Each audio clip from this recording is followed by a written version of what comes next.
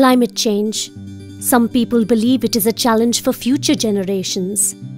The fact is, climate change is already hurting our ability to feed people, and the world's farmers feel it every day.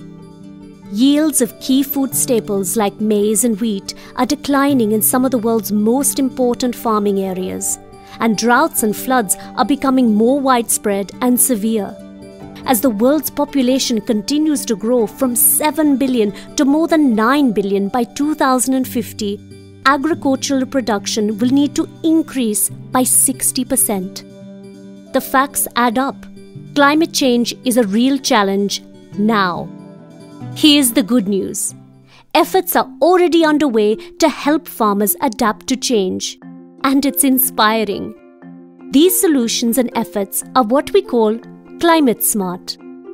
At 15 sites in South Asia, East Africa, and West Africa, researchers, local partners, and farmers are coming together to identify the kinds of farming practices, technology, and information sharing that are needed to deal with the effects of climate change. Meet Paramjeet Singh from Haryana, India. He's using a tool called the GreenSeeker to measure the nutrients in his crops and apply the right amounts and kinds of fertilizer. The result? Healthier crops, higher yields, and he doesn't overuse his fertilizer, a major contributor to greenhouse gas buildup. In the Mekong Delta of Vietnam, rice farmers are using an irrigation technique called alternate wetting and drying. This can reduce water use by up to 30%, resulting in significant cost savings for farmers and is a lifesaver for farmers and their crops during times of drought. In West Africa's Mali, radio weather bulletins keep farmers informed so they know when to prepare their fields for planting, and farmers in India receive weather updates and timely planting advice on their mobile phones.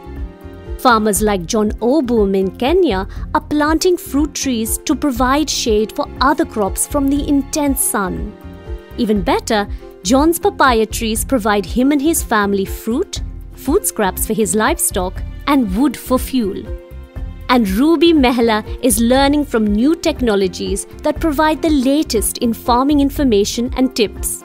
With this information, Ruby and other women in her community are better equipped to make smart decisions in the face of climate change.